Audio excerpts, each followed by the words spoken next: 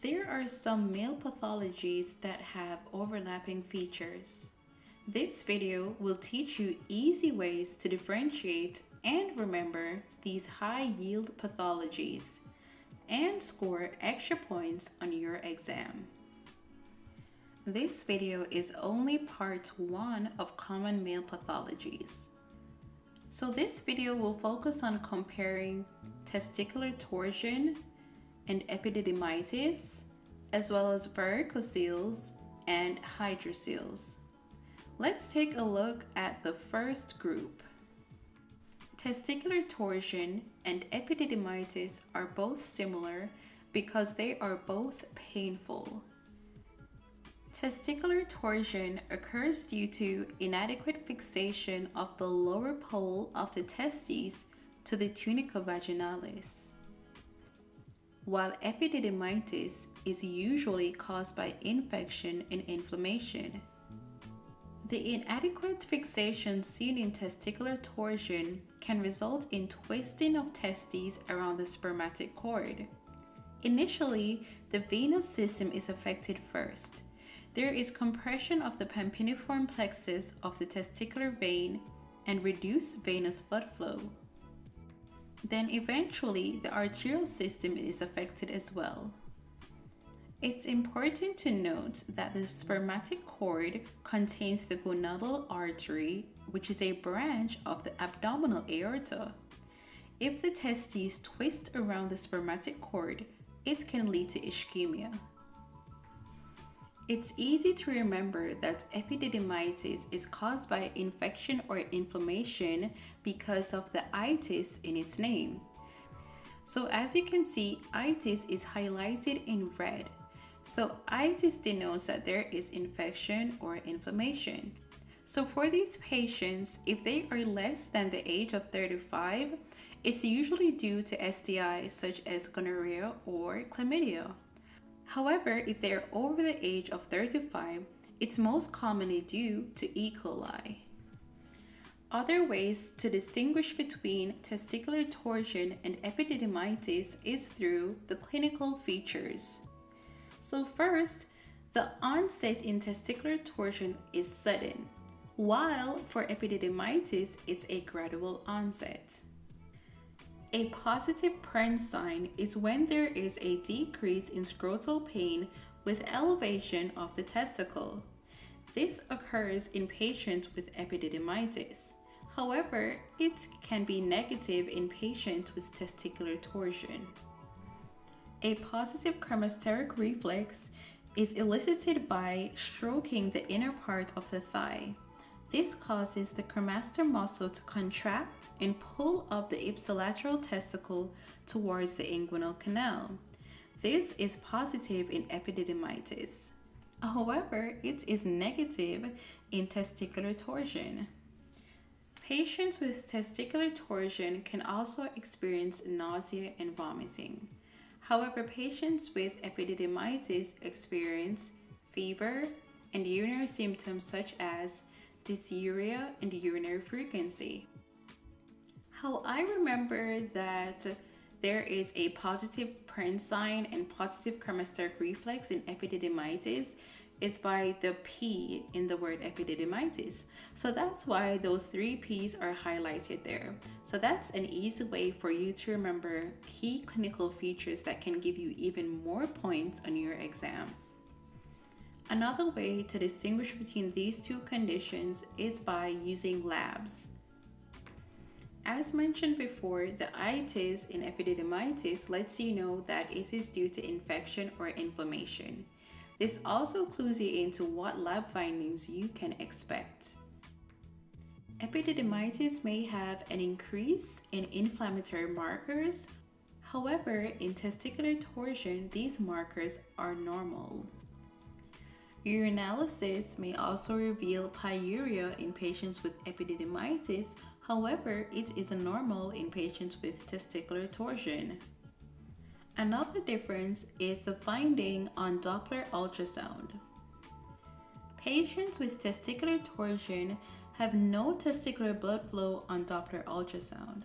However, patients with epididymitis have normal or increased testicular blood flow on Doppler ultrasound. It's important to note that if you are clinically suspicious of testicular torsion, usually you would not stop to do a Doppler ultrasound. You would go straight to the management that we will discuss soon.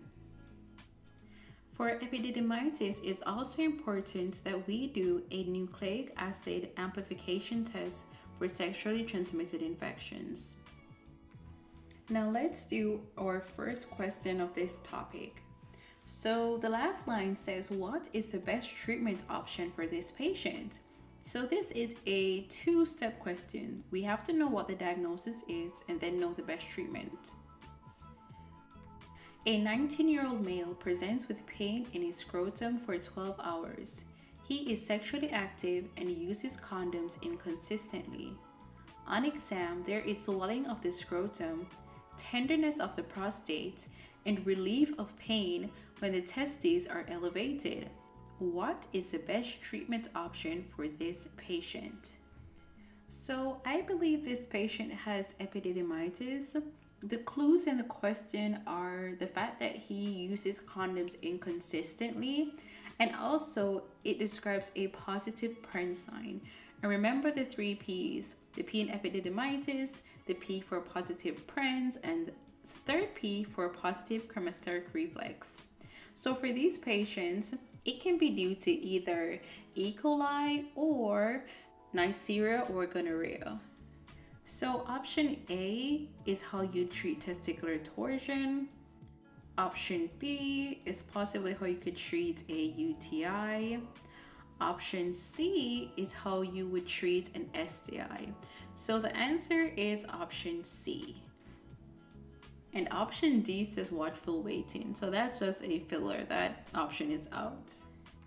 Question number two What is the most likely cause of his testicular pain? So for this, we have to know what the diagnosis is.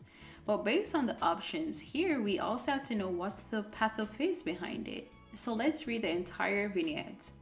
A 15 year old male presents with left groin pain for four hours.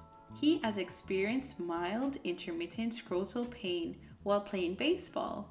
He is sexually active and uses condoms inconsistently. On exam, the left hemiscrotum is swollen and tender. He has a negative cremasteric reflex and his vital signs appear to be within normal limits. What is the most likely cause of his testicular pain? So, I believe this patient has testicular torsion.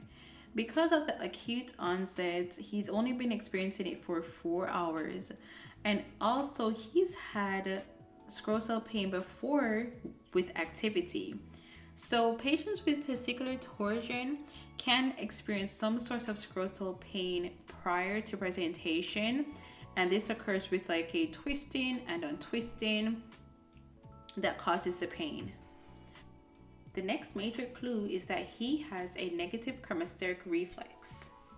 So let's look at the options. So option A, germ cell tumor, no, because he has testicular torsion. Option B, patent processus vaginalis, no. We'll discuss this more when comparing hydrocele and varicoceles. Option C, increased mobility of the testes. Yes, so the, app, the answer is definitely option C. Option D, bacteria from urinary tract. This is cluing into epididymitis, but the patient has testicular torsion. So the option D is out. So the answer is option C, increased mobility of testes. So testicular torsion and epididymitis were both similar in that they were both painful. However, hydroceles and varicoceles are both painless. Now let's take a closer look at the causes of hydroceles and varicoceles. So hydroceles are caused by fluid accumulation within the tunica vaginalis, while varicoceles are due to abnormal enlargement of the pampiniform plexus. Another key distinguishing feature is that there is positive transillumination in hydrocele, however, it is negative in varicocele. How I remember this is think veins for pampiniform plexus and the V in veins and the V in varicoceles. So that's how I remember it. And for hydrocele, it would just be the opposite, meaning the fluid accumulation within the tunica vaginalis. How I remember that there is positive transillumination in hydrocele is that hydro means water. So picture a clear balloon filled with water. If you were to shine a light, you would be able to see that light. So there are two types of hydroceles, communicating hydroceles and non-communicating hydroceles. We'll first focus on communicating hydroceles. There are two types of hydroceles, communicating hydroceles and non-communicating hydroceles. If a patient has a communicating hydrocele, it's very important to rule out an indirect inguinal hernia because they are both caused by an incomplete obliteration of the processus vaginalis.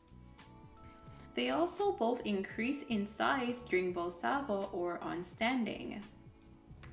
If you would like a video about hernias or any other topic, let me know in the comments below. Now let's do our first quiz on hydroceles and varicoceles. So the last line says, what is the most likely cause of his scrotal findings?